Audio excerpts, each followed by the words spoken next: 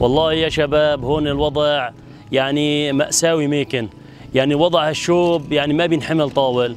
الأولاد في الليل عم يجوا أخيو سهال مراجعة في هالليل عم نفيق من الشوب من الحر عم نصب فوقهم مي.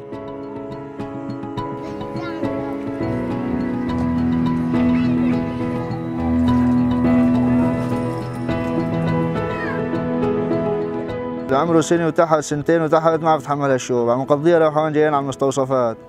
يا أما بنقعد في الكروم. يعني هيك يعني هالحالة. يا أما نفضي خزانات المي على الأولاد تيمشي الحال قبل ما نقطع للعصر